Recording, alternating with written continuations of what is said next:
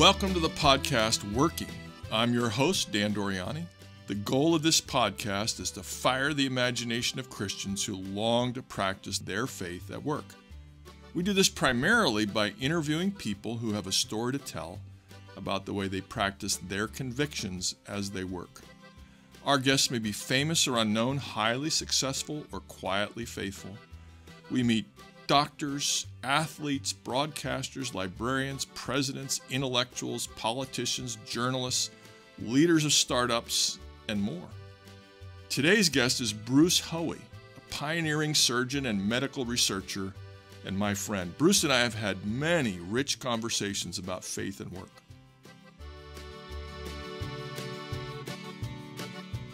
So, Bruce, welcome to this uh, this podcast on working, and I am so glad to have you here. You've had a uh, you've had a very interesting career. You started off as a student of surgery many years ago, and then uh, and then as time went by, or maybe pretty quickly, you decided that you wanted to get involved in a very specific kind of surgery, um, and that's in the field of the head and neck, and that's that's not necessarily the easiest place to operate. Can you uh, can just tell us, give a little background about what someone like you does, and then we'll get into the specifics of your task. What does it mean to operate on the head and neck? Sure. Well, thanks again for the welcome, Dan. Um, operating on the head and neck is, uh, to me, uh, uh, first of all, fascinating. And, and the reason is that uh, it's probably the area of the human body where vital structures are packed in as tightly as they come.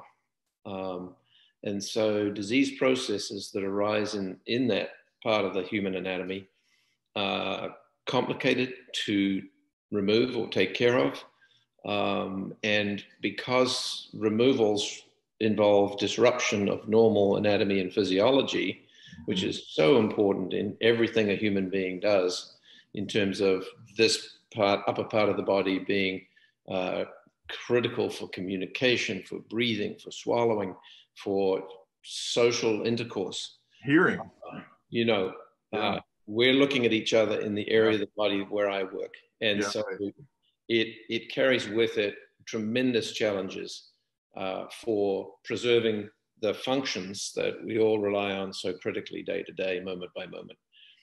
Um, so, how I got involved in this was, uh, as you said, early on in medical school in New Zealand, um, I was really struggling with um, making some choices uh, as to which pathway to follow. I knew I loved surgery because of the technical aspects of it uh, and my innate impatience gave me quick results from what I was doing in surgical endeavors.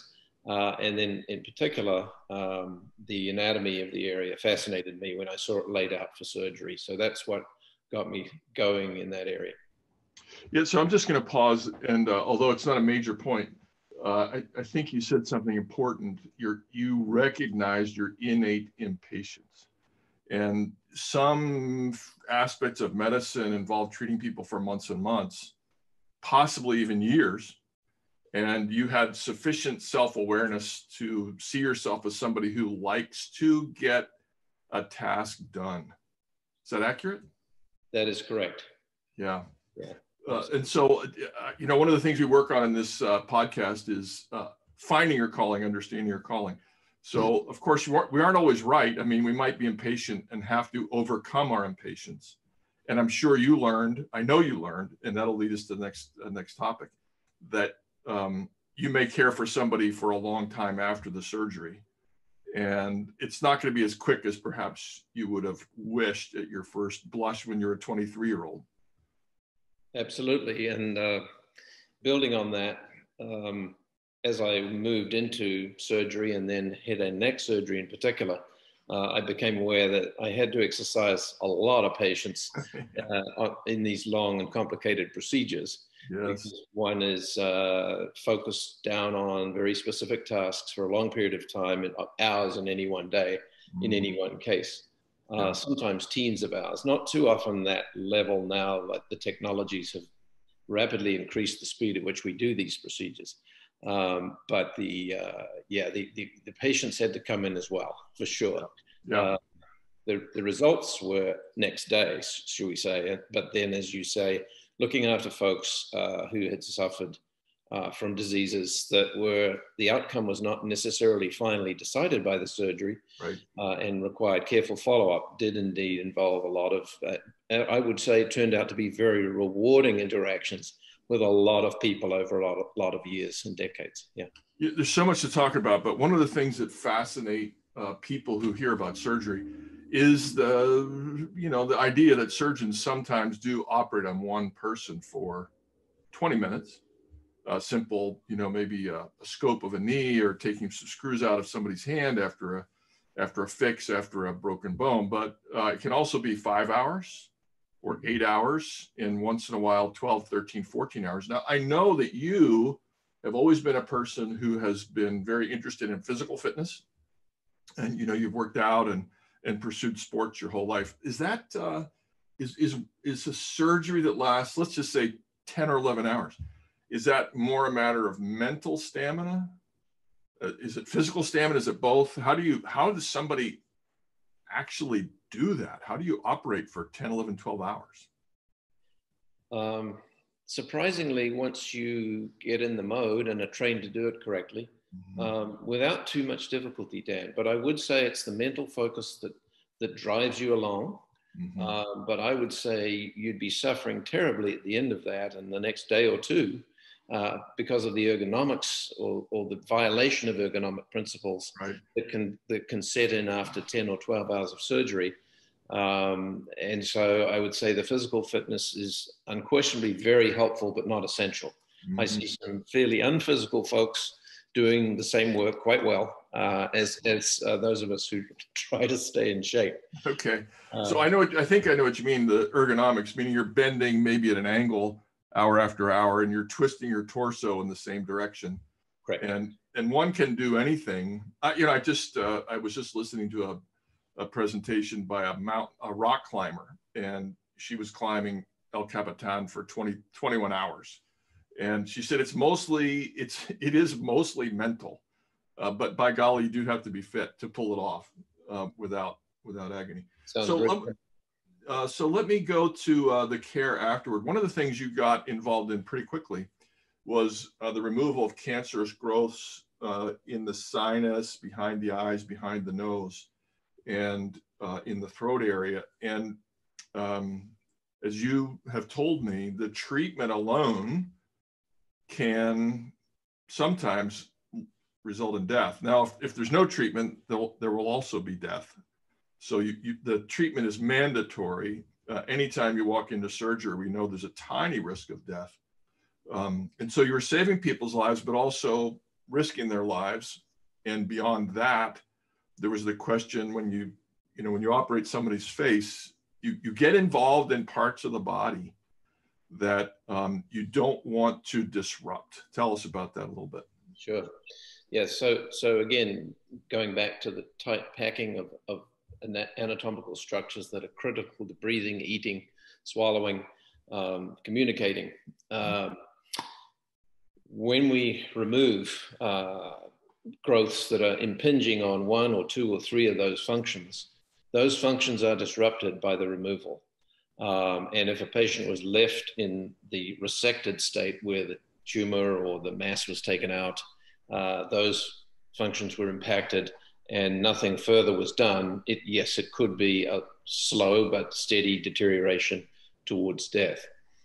Um, so, one of my early interests was how do we do the surgery that puts those functions back in place better than we had been doing? I trained at a wonderful place. I traveled from New Zealand to the University of Iowa in Iowa City, which was the leading center. I was very fortunate to get a training position there from New Zealand um, way back in the 80s when I trained. Uh, but one of the things they were leading the charge in worldwide was the reconstructive aspects. And so my, my abiding interest has been in the um, ways, techniques, tissue transfers, and so forth uh, that we can accomplish to restore function. Uh, and so uh, the, that in itself is enormously challenging because we're taking beautifully designed structures like the human tongue mm-hmm. which there's no other tissue like it in the body, or the human larynx, where again, we're a complex of beautiful uh, nerves, muscles, skeletal structures, and so forth are, are, molded into this wonderful thing through which you know you can see hear an opera singer uh, right down to a whisper in your wife's ear. Uh, you know, is is something that uh, can be missing in folks uh, if we do these big procedures. So yeah, the reconstructive aspect was what caught my attention very early as the big need that we needed to continue uh, developing in medical science. Yeah, so just just for our people, for the common folk, we just have to remember that if uh, you interfere with somebody's salivary glands enough, they don't have saliva.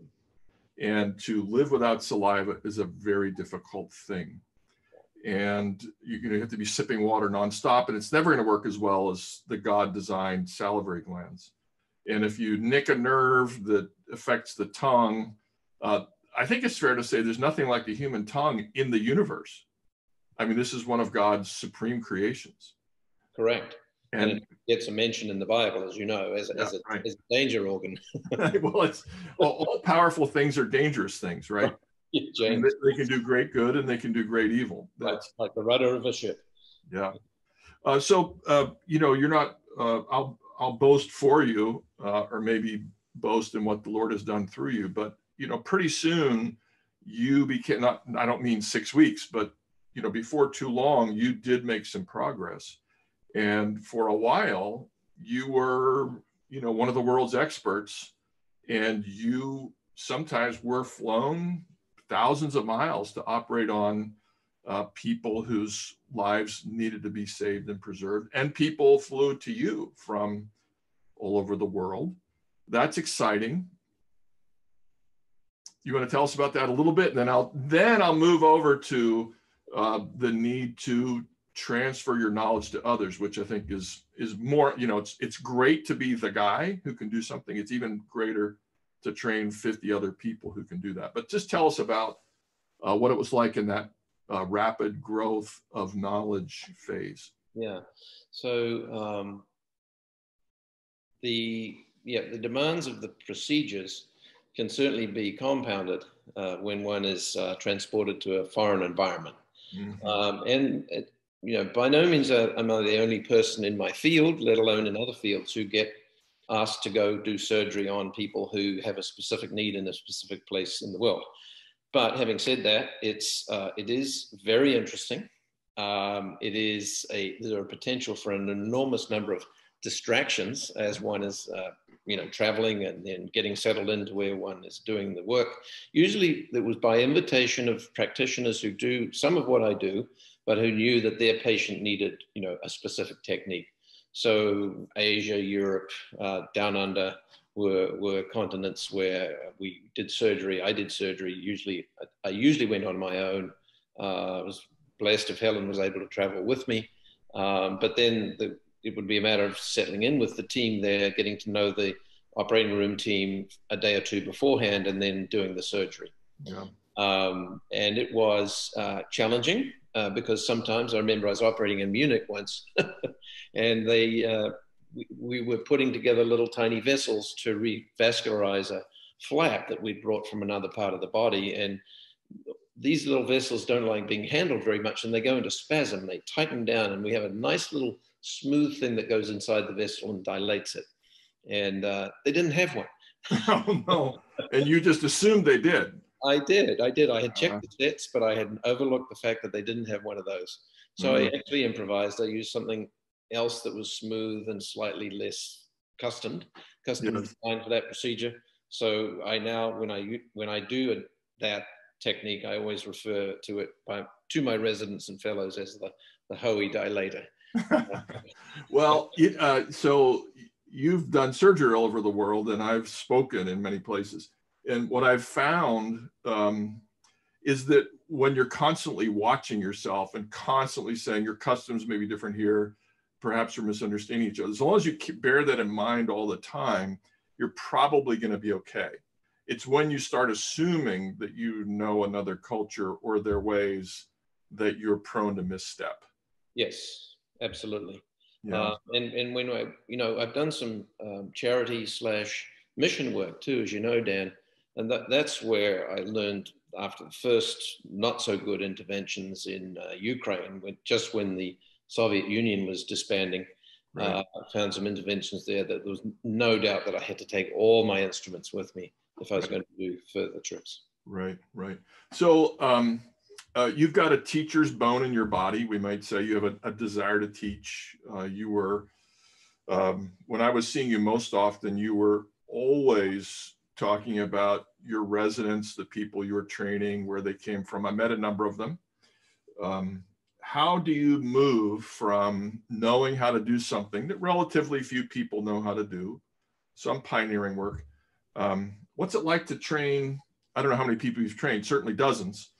Uh, what is it like? What are the pros, the cons? And in some ways, it slows you down, but in other ways, it multiplies your labors, right? It does, uh, both uh, true. Um, but there's something so rewarding about seeing someone, uh, first of all, show enthusiasm mm-hmm. for what we love to do, what I love to do, um, and then to apply themselves to learning the, the techniques or the approaches. So, uh, yeah, I mean, again, numbers aren't everything, but 25 fellows later, and fellows are specializing in what I do or what one of my colleagues does and then 135 residents later, uh, one has had a, a rich uh, life's experience of interaction with trainees. Mm-hmm. And I, I just uh, love it when I have the opportunity to uh, either explain something spontaneously or for them to ask me questions. And it's actually, you know, we do a lot of ranking and, and rating of trainees now. It's become yes. very detailed. Um, but uh, I would say the thing that makes it much easier, uh, even with the detail we're required to report on folks, uh, is that um, you can tell pretty much right away who's who's a born, who has a born surgical skill and a nice set of um, questions and intellectual curiosity that will lead them forward in what they uh, saying they want to do. Yeah, that's good. So uh, that's that's very interesting, Bruce. And a lot of it, of course, has to do with sheer giftedness. A lot of it has to do with a desire to grow, and yeah. and it's also going to be connected to our providential background. I mean, to yeah. find our calling, in part, we have to, you know, pray that God leads us and keep our eyes open to providential calling. In your case, your father was an architect and sort of a designer by nature. Uh, you know, maybe had a little bit of engineering or or something like that in them. And so there were tools around your house all the time. And what people don't people don't realize sometimes that surgeons have, you know, little saws like everybody else does, except their saws are just a lot better. Yeah. And and maybe a lot smaller. Um, but it's it's mechanical work at times. There's a mechanical aspect Oh, absolutely. Um, so the musculoskeletal structures, like the jaws, mm-hmm. um, that have to be strong and functional. Um, yeah, the, the, and understanding the engineering work that's been done on the human body and where the forces and where all the newtons of force mm-hmm. are being exerted in those structures um, yeah, it's essential that uh, one has at least some background in that area. I could usually tell with a trainee whether or not they'd been anywhere near a, a workshop of some sort. Uh, and that was very helpful. I mean, you you thank God, right? I do, right, I do. Bruce, my, you my, were around that as a child. My dad was an architect, but he also was a very expert craftsman, uh, and he could make things. And he made numerous boats and models for me when I was a youngster uh, that I absolutely loved. And I was in the workshop watching him make these uh, for me. And then he introduced me to sailing. And I was thinking about this, I'd forgotten to mention that, but at the age of seven, I was given a seven foot little sailboat to go out and learn to sail. And that taught uh, resourcefulness under pressure with a vast number of different factors operating to one, keep your boat upright, and two, keep your boat at the head of the fleet if you were racing your boat. Yeah. So, uh, you know, that was a sporting experience early on that was very formative. Yeah, and just balancing the weather, balancing the sails, balancing all the parts of the boat, balancing the opposition. Uh, that was a early rich experience. And if I'm picking up what you're putting down, Bruce, you're saying that to a certain extent, um, maybe it helped you improvise that that little device instead of panicking you were around around the need to improvise but also balance i mean the body balances maybe a sailboat is a mm-hmm. little bit like a human body mm-hmm. absolutely it is um, very complicated if you really think about all the factors that can go into making you go fast or go slowly mm-hmm. uh, so that was a that was also looking back a very formative experience but yes the the culture in our family was my dad always had he had a separate room in the house where he would he had an architectural firm in the city and you know numbers of employees etc etc but he always had in the house a, a drawing board set up um, with the appropriate lighting and drawing materials and so forth. And he was always to to his i think great credit uh, continuing to create in his mind and and and to, uh, to to to design. Yeah. Yeah. Um, so let's see what, what goes into making a surgeon. You have to have a certain mental acuity. You, uh, you need to have uh, skills with your hands. You need to have a curiosity. Um, when you're working with the fine structures, maybe I'm, I'm not trying to, uh, you know, assess relative skills here, but maybe if you're working on knees or hips, those are larger structures. Um, you work on fine structures packed in, as you say, and that calls for a steady hand, does it not? and you you can desire to be a head you know head neck uh, surgeon if your hands wobble a little bit you may want to do something else is that fair that is fair everyone has a tremor but some of us have a micro tremor mm-hmm. where you, you, one holds one hands up and they don't shake and don't and don't don't move like this but others have more gross tremor yeah. Um, so I, again i guess early on i noticed that in medical school that when we were dissecting fine structures, um, one day we were given a hen's egg that had been fertilized, not like the one you eat right. in medical school. And we were given a little monocular microscope. Mm-hmm. And the mm-hmm. lecturer said, I want you folks to lift the embryo out of that egg under the microscope. and it was a little daunting. Yeah. But I well remember just um, sitting down there, I guess taking a few deep breaths because she was she was a hawk. She was wandering around watching us very carefully. she was a hawk walk, watching the chickens. Little short lady, but very uh, powerful yeah. uh, woman, and she uh, she made us do that. And I guess she was uh, visibly impressed when somehow, by God's grace, I was able to lift that embryo out whole, and it's tiny. If you've ever mm-hmm. seen an early fertilized hen's egg. Yeah. it was a great exercise, but it, but it um, was encouraging, of course. But later on, I did have some struggles with surgical techniques um, that were really quite daunting. Yeah. Yeah. So um, again, I, one of the questions I deal with most often is, how do you know you're in the right calling? How do you find it? Maybe if you're in a calling, how do you adjust a little bit? And a theme that uh, I have is that it's important to have a sense of who you are, but it's also equally important or more important to have somebody who knows you and knows the field tell you I see a skill in you. In other words, if I want to be a, a major league baseball player, um, that may seem plausible till I'm about 11. And then I start looking at really good pitchers, and, and the coach starts telling me that it might be good for me to consider another sport if I want if I want to be a professional athlete. Uh, and so I need to listen to that and silence myself. And you had, uh, or or quiet my dreams. You had someone who knew, and who saw, and said, Bruce, I think you should look into this. Is that fair? That is that is absolutely correct. Um, my dad, much as I loved him, because another sport I played as a youngster was rugby, which in New Zealand is a national religion, should we say? Right. Yeah. Everyone plays it. Uh, and my dad thought I was, as, as a teenager, was I was just a big bumbling rugby player who couldn't do fine stuff. Yeah. And he, by this time, he was hearing me starting to talk about surgery. and he, he was a Rotarian. Uh, Auckland has a Rotary representative for the different professions. Uh, he was the Rotarian architect in Auckland. And so he, he behind my back, he started talking to his physician friends at Rotary whether or not his son, Bruce, could be a surgeon, could even be a doctor. Mm. And uh, surprisingly, they affirmed that there wasn't any reason, despite the fact that I was a I was a front row rugby player. Uh-huh. Um, and so that was that was the first thing. But but probably as you in the vein of what you just said, the main encouragement came from an otolaryngologist in Auckland, um, a guy called Ron Goody.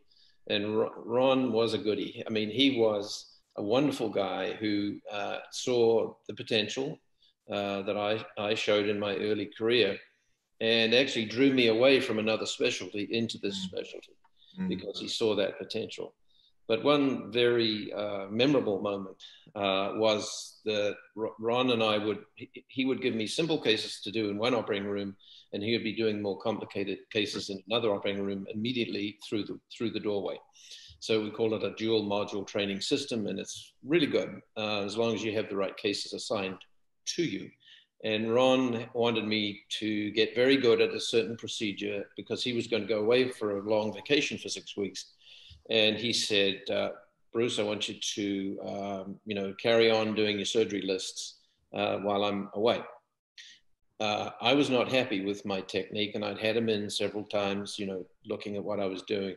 Um, but in the end, uh, you know, he said, "Well, I'm going," and I think, and so I was pretty daunted by this. Yes. But I was uh, just at the beginning of this this interval when I was about to start launching on my own. Now there were other people who could supervise me. Don't right. I could call on people, right. they weren't right there in the next room. Uh, I was in my scripture union notes one morning, uh, reading early before going to work, and um, the, the, psalm that was assigned for the day was Psalm 81. And there's a verse in Psalm 81 that really is more about the Egyptians coming out of, uh, you know, looking back on the Egyptian right. deliverance from Egypt, uh, from, from uh, the Israeli deliverance from Egypt. And um, and it, it, there's a, there's a, there's a a statement a, a uh, by God in there, which is an unknown voice, oddly enough, in that psalm, uh, that says, And I will take the burdens off your shoulders, and I will free your hands from the basket. And that uh, just came out of the, lifted out of the page uh, to me at, at that particular time. And it was very liberating to know that the Lord was watching over this whole process. Uh, and to circle around, you may find this amazing. I do. But guess what my psalm this Sunday in my scripture union notes was? I, I don't know. Psalm, psalm 81. Psalm 81. Yeah. well, uh, of course, uh, two observations. One is when we read the Bible regularly, uh, we just find things that are God's word to us. They're God's word to everybody, but they speak to our need. If you don't read the Bible, you're not going to find those passages. Right. Um, and so regular Bible reading is, is one of the great tools for us to understand our careers. But I also find it, it's, I think it's also true that a lot of people get stuck in their work and uh, they almost feel enslaved by their work. It could be a, a boss that's unpleasant or a series of tasks that are onerous or poor fitting for our aspirations and our skills and so on. And so to use a psalm that talks about Israel being liberated from slavery in Egypt is is not a mistake. I mean, it's we are, and Paul, the Apostle Paul says this. You know, we're everybody's a slave in some ways, and everybody's free in some ways. And so, don't worry too much about your situation. Stay where you are.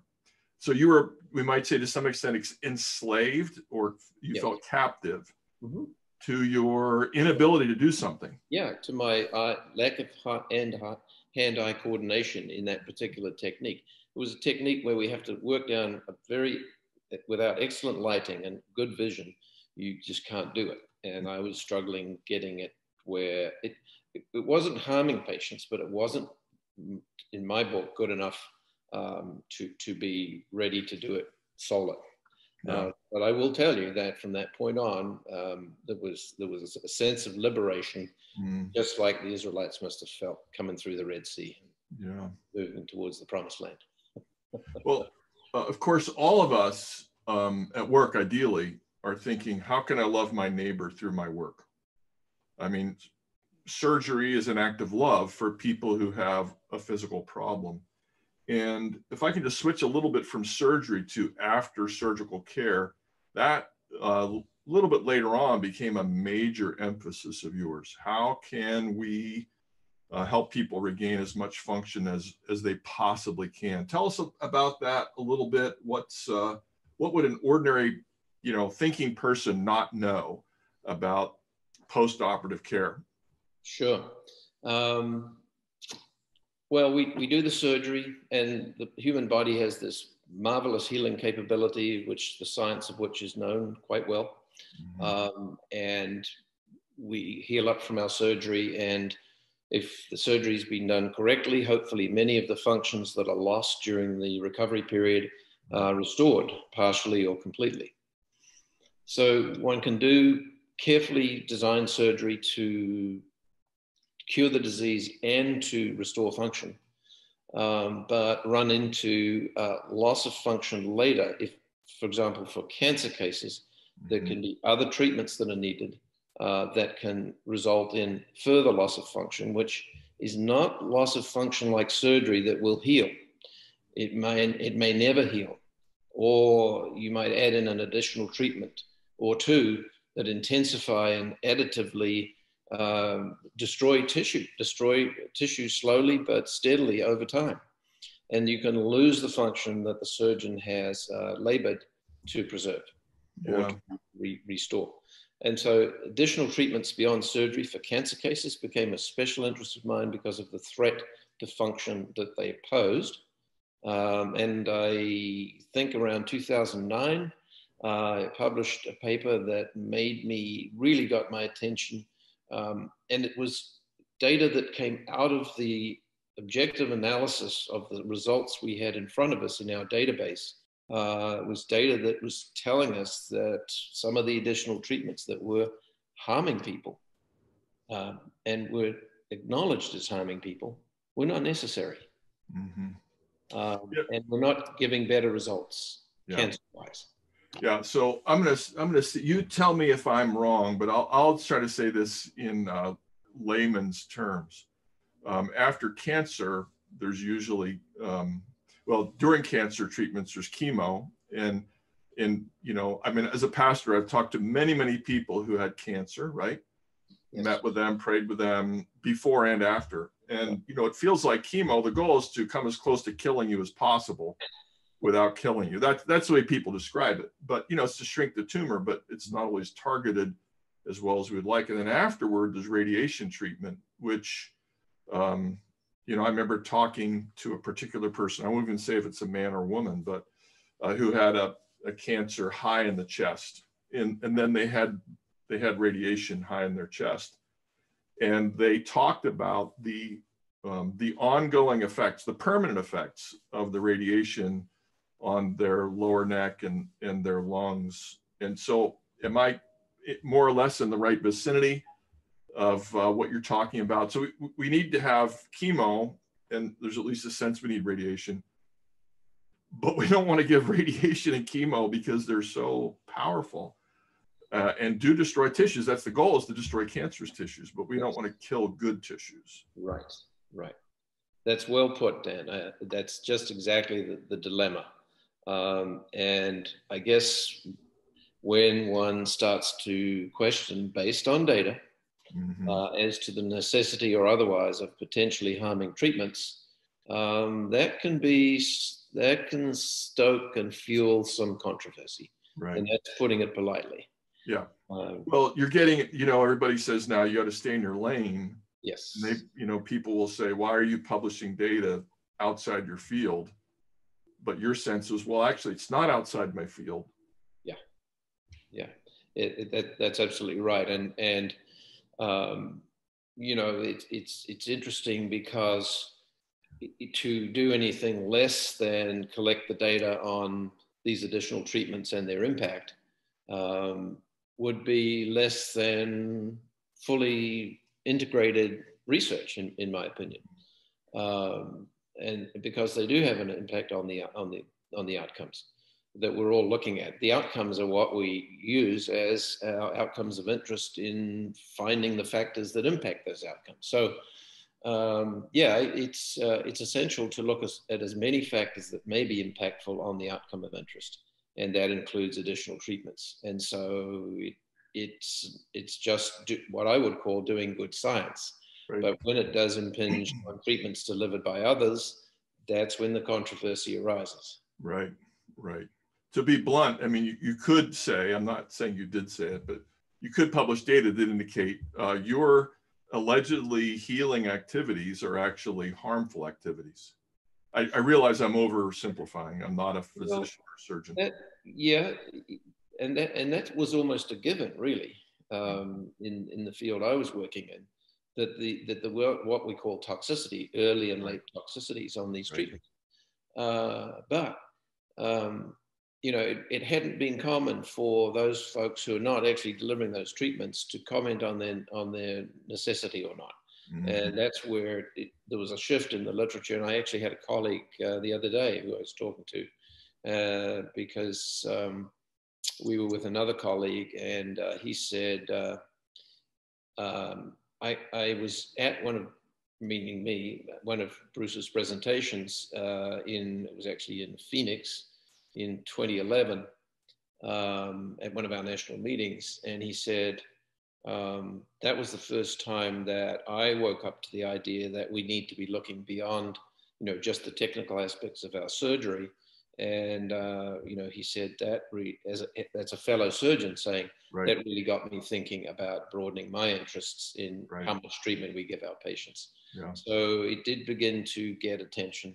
Um, and then in the end, we wrote some critiques for major cancer journals nationally, uh, along with uh, several other people. And be, because I wanted my numbers to be stellar, I, I, included the prof- one of the professors of mathematics at Washington University on the authorship team to critique uh, pretty comprehensively the lack of evidence through uh, upon which we were moving forward with these harmful treatments. The evidence I contended at, in a 12 point critique was not there to support these harmful treatments in certain specific situations. So, you know, right. You're not opposed to chemotherapy. No, I'm not opposed to any one therapy that, right. that is, is life saving and doesn't, you know, harm the patient so badly that they have no life left. Yeah. So I'll, I'll say it again in layman's terms. Um, so I had a very strange infection in the year 2020. And it was very mystifying to people and and uh, so I had to get a lot of tests and, and I got to see a, a great expert um, in through uh, through some friends. I got to one of the great cardiologists because the the, uh, the infection interfered with the electrical system of my heart, which happens once in a great while, and it can happen to anybody. Um, but I, I had a, I was trying to debate with him. I said, you know, you're giving me all these medications and they have a lot of side effects and you know one of them you know 30 minutes after i take this pill this is what happens every single time and i said you know are you sure this is necessary and his answer was i'm not sure it's necessary yet uh, but it could save your life and uh, as we give you more tests i'm you know i may take this medication off and I hope I can take it off, but I'm not going to take it off right now until I get all the results. I don't want, he didn't say it this way, but you know, I don't want you to die because you don't like a side effect of a medication that may be gone in four weeks. And my sense is that all physicians are uh, operating in that sphere. Uh, we want to make sure the treatment's not worse than the disease, but we also want to keep people alive. Mm-hmm. Yes. No, that's highly valid position to take um, as long as observably in front of the clinician, you know, you're not undergoing life-threatening side effects and toxicity. It's, right. Quite, right. Yeah. So as Christians, one of the things that uh, we agree on, I, I know we agree on this, is that it's very important to save a life, but saving a life isn't the only consideration. I mean, we're, we're eternal beings, right? We're all going to die at some point. And so one of the things you have to consider, let's suppose you're operating on a 25 year old and um, you want to make sure you retain for that 25 year old salivary glands, tongue, um, hearing, etc., uh, whatever the surgery entails. And sometimes you might have to. Is it? Would you ever have to have a bit of a trade off? Of um, there might be a tiny bit of extra risk of of death, but I can save this person's tongue or their saliva glands. Is that? Do you ever face that kind of situation? Um, yeah, really on a day-to-day basis, we're making those decisions. Fortunately, Dan, you know, uh, medical, especially cancer care, has moved to a situation where we have multidisciplinary teams, um, and these are these are extraordinarily useful because we get many opinions, so-called, for the price of one. Okay. This is no charge to the patient, really. It's just uh, something we do in the background mm. uh, as routine part of uh, tertiary level and quaternary level cancer care. Um, but yeah, there can there can be a situation where, so let's say in my field, the swallowing mechanism is fine, mm-hmm. um, and uh, we have to then uh, recommend additional treatment that can threaten that swallowing mechanism. Uh, the unfortunate part about it is the medical science hasn't developed yet to know whose mechanism will be negatively affected and whose hasn't, whose won't be, because we see this variation in outcome. Mm-hmm. Uh, so that, that puts a level of risk uh, into uh, administering treatments that can be harmful. Mm. Um, but you know, it's it just it's very interesting. Patients um, patients track track you down, having treated thousands of them, and, and just two weeks ago, this letter arrived in my box, um, handwritten and it was a, a, very sweet letter from a man from Kentucky. I think he, yes, Kentucky. And he said what his name was and when I treated him and so forth. But um, this is this is what he said.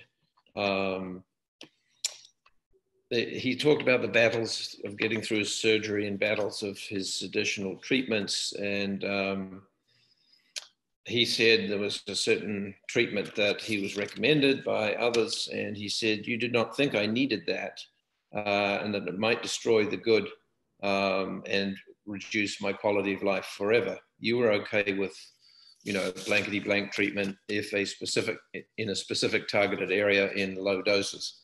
Mm-hmm. And uh, he says, I just wanted to thank you from the bottom of my heart for your skills, honesty, true concern for what's best for patients, etc., etc.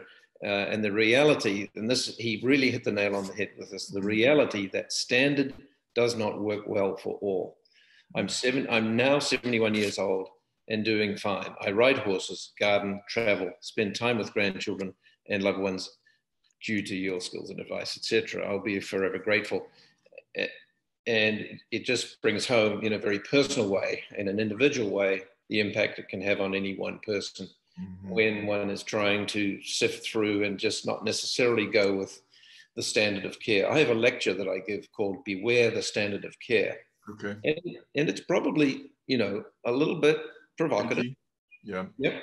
But, but in certain context, I give that talk uh, and I, I outline in it the wonderful standards of care that have transformed the outcomes for patients and, and the more dicey ones where the evidence is flimsy and mm. that that can be a tricky area to to address. Yeah, but that's why you do peer-reviewed work. And if I may say so, anybody who upsets the standard in any field, it could be engineering, could be architecture, could be teaching, uh, it could be count, you know, psychological counseling. Anybody who says uh, we have adopted some methods that sounded persuasive but don't produce results. Anybody who says that can be questioned and there'll be pushback because anytime anybody wants to change anything, there's somebody who benefits from the status quo and sees that a shift will harm them. I mean, that's that's actually as old as Machiavelli the Prince. He said anyone who wants to bring a governmental change is is going to have this difficulty that the people who stand to lose by the change in government structures will quickly see what they'll lose and do you know they'll fight to protect their position of privilege yes. whereas those who are attracted to it are attracted to a possibility And so uh, that is to say, it's not a certainty of what they'll gain. Therefore, your adversaries will be more resolved than your potential allies will be. Yes, absolutely true. Um, and I was fortunate to have allies in other institutions, fine mm-hmm. places, yeah. uh, in, in other parts of the country and the world who I was communicating with on a regular basis with and publishing with. Right. We were combining our evidence, our, our data uh, to, to give the evidence that was supporting our position. Right. Uh, so I was very blessed to have good allies uh, around the country. Yeah. Yeah. Um, and so again, just we'll make sure we say this is not, you know, uh, Dr. Bruce Haughey thinking stuff up and and writing it up. It's peer reviewed. It's based on evidence, yes. so that we're um, even if there's a disagreement in your field, there are many other people who are agreeing with you and are examining the same data, and that's what gets published. Not that you have an idea, but you have an idea that's backed by data. Correct. Correct. You, you're trying to be you know, the whole basis of the scientific method, as you know, is the null hypothesis. You, you right. go to your data assuming that the finding that maybe is going to come out of it is not there. Right. And, and the null hypothesis is absolutely critical. It's been lost.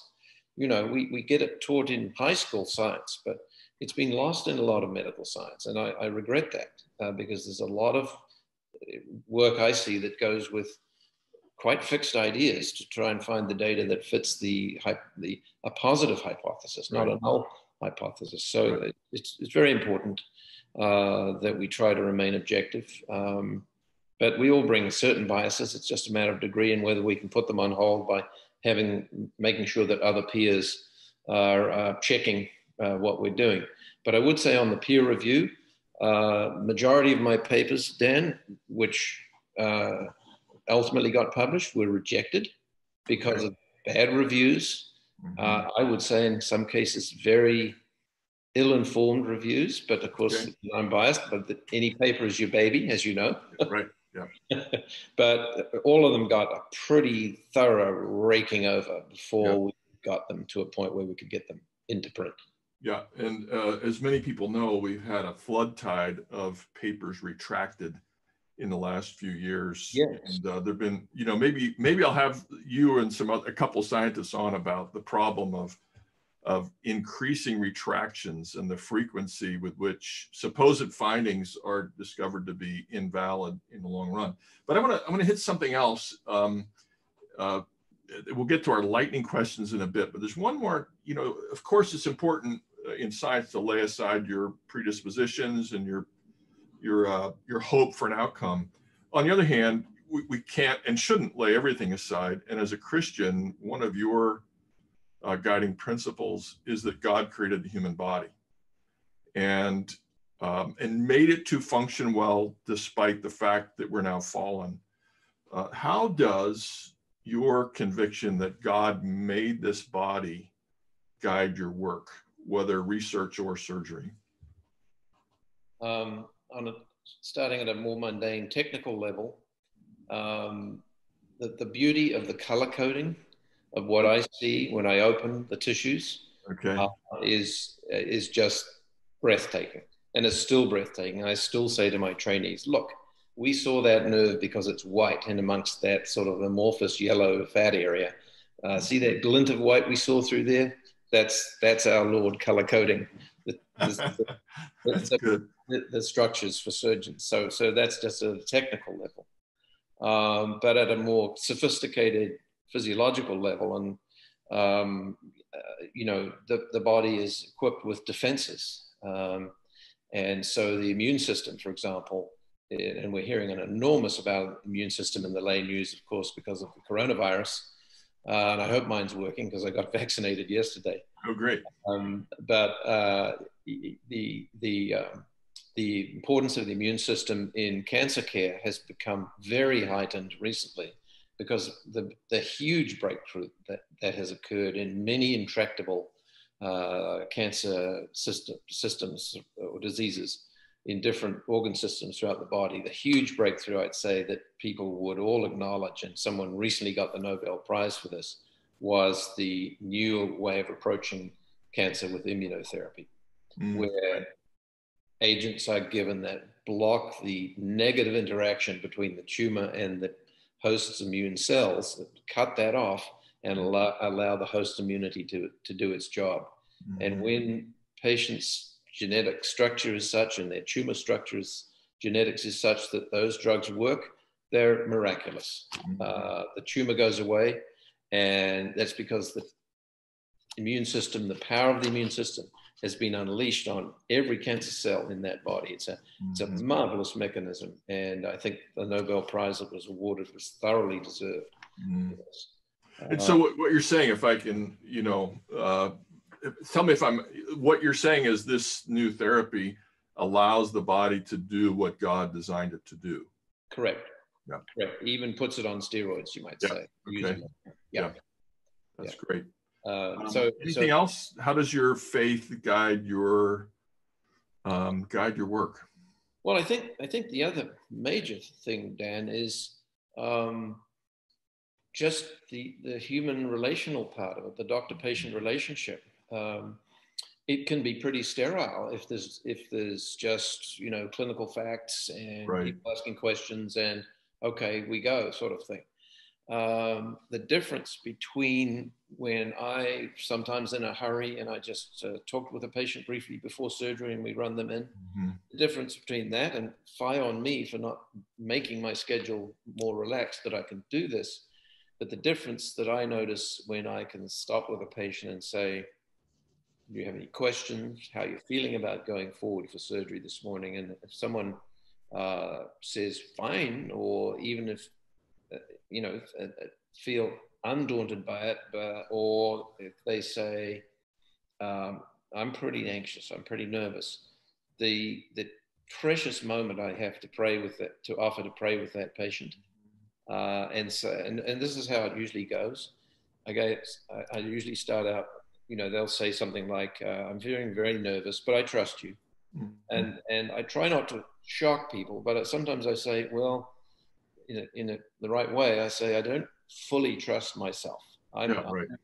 I'm a instrument in God's hands, and I tell them I'm a Christian believer, and that I think that the great physician is our heavenly Father and Jesus Christ, His Son, mm. uh, and Jesus healed much of what He was known for on earth, even mm. in the lay world. The historic lay recording right. was His healings, yeah. and I believe that through me, God can work to heal you.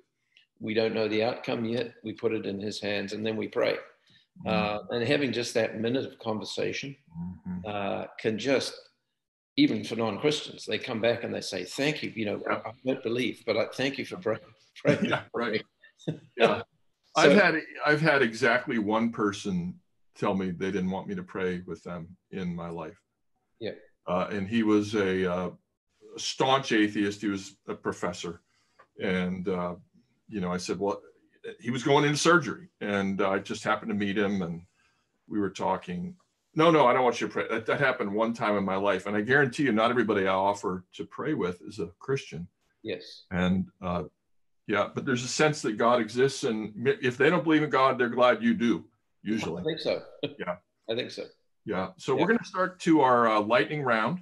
Okay. Um, so we're going to I'm going to ask you, you know, keep it simple on these. Sure. Uh, every job has glories and its garbage detail. What is the garbage detail of being a surgeon? Uh, paperwork, no question. Paperwork. Yeah. It, now it's electronic, of course, yeah. but it's hours and hours and hours beyond the patient-doctor interface that we're putting in to, to yeah. document correctly. Yeah. And you're saying you don't love that? okay, number one. Number two, what's something about your work that no one would ever guess? Uh, ordinary person. I mean, obviously surgeons get it, but uh, what's this, what would people be surprised to learn? I think they'd be surprised to learn about how physicians sometimes lapse into discussions about the persona of their patients between each other. it's sort of not fair because they're not there to defend themselves. But we do. It's a way of un- unburdening your difficulty with handling a, a person's personality. Yeah. yeah. Just share it with a colleague and say, hey, you know, you wouldn't believe what someone said to me. All right. Okay, good. In other words, uh, not the nice patients, but the ones who really set you on edge.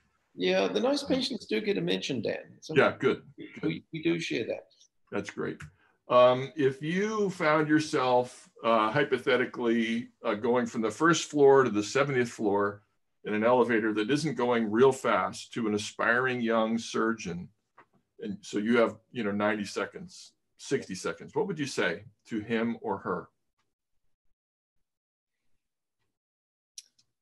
I would say learn everything you can. Mm. All right, you still have 50 seconds left. Keep going. and I would say find the people who can teach you everything you need to know. Mm-hmm. Yeah. Um, and then I would say work very hard to perfect your, your skills and achieve your ambition. Yeah. Yeah. In the world of sports, they say the goal is not, and, and music, the goal is not to practice until you can do it right. The goal is to practice until you can't do it wrong. I love that way of putting it. I love that way of putting it. Um, but the teacher is so critical. I'll give you one quick vignette. Uh, recently, not recently, several years ago, I um, decided being, I love water sports, and I decided being landlocked, the, the best thing to do was to tr- take up triathlon. Mm. And I got hold, got hold of, was recommended to a coach, swimming coach, because I was going to do long events where I'd have to swim for over an hour. Mm. Uh, and this gentleman, uh, who's in St. Louis, uh, was a nationally uh, certified high level coach in, in a swimming technique that was really very relaxing, and you could swim long, long distances without feeling fatigued mm. for the rest of the race. And, and, this particular individual showed me, uh, taught me as, as much as I know probably about teaching, uh, and completely changed my stroke mechanics from a windmilling style to a relaxed, uh, sort of smooth, rhythmical stroke. Mm-hmm. Um, and his ability to demonstrate that and to articulate it in words and teach me to do that, that just made an enormous difference in a space of just a few months. Mm. A lot of less, a lot of lessons, and me practicing a lot or yeah. learning not to make mistakes. But uh, it was an example, just a very graphic example to me of how important the teacher can be and how effective they can be or not be. Yeah, right. okay, so uh, last round of questions. If uh, not, what's your favorite book? But what book do you love to give to people that you care about? What's a book you love to give away? Or you know, our our listeners, you know, really should think about reading this book. Yeah, sure. Well, it's it maybe it might might surprise some folks, but given the background that I've shared through your questions, um, it's it's a book um, that I've got right here, and I've given it to a lot of people. Oh yeah, uh, and I might have even recommended it to you, Dan, at one point. Uh, you certainly did, and I read it with great delight. It's called The Perfect Mile. Yep. And it's about the quest by three athletes in different countries in the, in the early 1950s to achieve the four minute mile. Mm-hmm. And I just thought that was, and it was written by a guy who's originally from St. Louis. Okay. Uh, Neal Bascomb is his name, The Perfect Mile. And it catalogs the completely different approaches these four outstanding athletes had to accomplishing the breaking of the four minute mile. Uh, right. To me, it's one of the most gripping books. And again, it gets my competitive juices, my achievement juices, and my interest in the details of what can lead up to a great accomplishment um, really flowing. and it's, uh, you know, the story of Roger Bannister's uh, often told as one of individual achievement, but it's extremely clear that he could never have done it without his yeah. team, everybody collaborating. Yeah. And I, re- I remember from the book, um, I think it's only the last 200 yards or so that he ran first. Uh, he was always letting them break the wind just a little bit for him. Yep. He had and a team. Finally, one of the guys I mean, I read this, I don't know, eight, eight, years ago, but I believe one of the guys peeled off and said, you know, essentially, you're okay, you're on your own to bring it home, which he did by less than a second. Yeah, he kicked at 230 yards out. Yep. And then he, and that brought him to the front. And at 200 yards, he took off in three minutes, 59.4 seconds. Yeah. yeah right. That's a great story. Yeah. Uh, so I think I know the answer to the question I like to ask people. What do you do to relax? Um, I mean, I know you love sports. Anything else? What do you do to relax so you're not working all the time? Yeah. So um, since we moved to Florida, uh, I've tried to spend a lot more time um, just gardening and um, on the beach uh, where we're, you know, being a coastal location. It's uh, yeah. very pleasant. Um, trying to spend more time with my dear wife, who has uh, put up with countless, countless thousands of hours of solo, um, solo marriage. So we say that's not the right word. Yeah. Uh, being on her own, uh, relative isolation, yet being married. Yeah, right. Right. Um, and then now with grandchildren, several of whom live here in Florida, uh, having the delight of seeing them grow up and spending time with them. Yeah. Yeah. As, as we were saying beforehand, I had the pleasure of, of my grandson in my house yesterday in a meeting uh, that was being recorded. And I heard my wife saying, no, no, no, you can't go in. Yeah, Papa's on a very important meeting, but you know, Papa's there and it's irresistible and he gave me a hug real quick, and I gave him a hug, and and he's four. Yeah. And uh, that was good enough. He just needed a hug, and I think it did not destroy the recording. We, so, we formed a little bubble during some of the yeah. serious surges in COVID right. with the grandchildren, and uh, it was so touching because yes. little Thomas, who's named after yes. my dad, uh, he would say, "Oh, but Papa." Why do you have to go to work? And his little face would fall. don't go to work. It's very heartwarming. Yeah. Um, so let's see. I want to ask you uh, if somebody wanted to read about your work, where would they go? Oh, uh, there's, there's Is there anything that an ordinary person can understand about the life of a surgeon? Yeah. Oh, well, and oh, you got me there, Dan. Uh, I don't have a good answer for that. Uh, for me personally, I'm I'm always thinking of you know tech, pretty technical deep down scientific stuff. Uh, well, you know, you're allowed. Listen, I mean, we're going to post this, and then people can uh, look at the bonus uh, bonus notes afterwards. So okay. if you don't have an answer to that question, uh, we'll put it on our website, and people can find it. All right. All right. That'll that'll uh, the people who really want the answer to that question will be able to find it. Find I'm thinking about the person who might, you know, have a I don't know, relative who's a surgeon or dear friend want to understand their work, or maybe somebody who's younger and is uh, considering medical school and possibly being right. There, there, are certainly books out there on on surgeons' yeah. lives. Um, one beautiful one is um, something the Lord made. It's a movie actually. Okay. And this is a great resource. Okay, uh, there we go. It involves scientific research, surgical research, and it's the development of the operation by a gentleman called Dr. Blalock, who started off at Vanderbilt and then went to Hopkins and a story of he and his lab assistant, whose name just escapes me for a moment, but the development of the so-called Blalock shunt, which turned blue babies who would die in a matter of days to weeks uh, into uh, children who could live a normal life. Mm. What's, it, what's, what's, the movie called? Something the Lord Made, and it's from a book also. okay, great.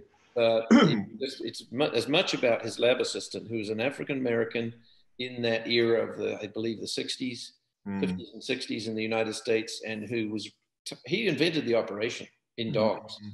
And and really taught it to Blalock, mm. who hmm. sort of publicized it in the in the medical world. But um, it's a wonderful story, and his lab assistant was given a I believe a uh, at least an honorary, if not a full professorship at Hopkins in recognition. That's a wonderful story. Yeah. um, last question: Who should I interview next? I think maybe on that same theme, why don't you give Ben Carson a call? Yeah, I think I'll, I'll give it a try. I don't I don't yeah. know him. yeah. Okay. he well, may have he may have a busy schedule, but sure. Right. He may not be so busy with the change of government, but anyway, I think he would be a wonderful interviewee as someone who's had an amazing life story from mm-hmm. a fairly hum- a very humble background through to uh, a cabinet position and um, you know going through uh, all this, the trials of a surgeon who was developing new techniques. Mm. Yeah, it's great, and he's a fine man as well. He is a he is a very uh, committed believer. Yeah, yeah. Well, Bruce, if I may say so, I think you're a fine man, and I thank you for giving me uh, a portion of your, a, a, generous portion of your morning. I'm confident that it will be encouraging to many people, and not just people in medical care, uh, but anybody who's looking at innovation, anybody who's watching the way maybe their various life experiences and skills come together um, as uh, as has happened for you by the Lord's design. Yes. So yes. thank you for your time. You're very welcome. If you have enjoyed this podcast, please subscribe and rate us on your preferred podcast platform. You can visit our website, the Center for Faith and Work St. Louis, at faithandworkstl.org. There, you can subscribe to our podcast, sign up for our newsletter, learn about our Faith and Work cohorts, leave a message for us, and more. Here are the questions for today's podcast with Bruce Haughey. What is your highest and rarest gift or your most strategic gift? Do you feel a responsibility to use your gifts as Dr. Haughey does for the good of your neighbor, for humanity? How does your faith affect the way you approach your work? What special insights does it give you? Think of Bruce talking about the color coding of certain nerves. Join our discussion at facebook.com slash faithandworkstl or our Instagram at faithandworkstl. I'm Christina Hanna, Program Director for Center for Faith and Work.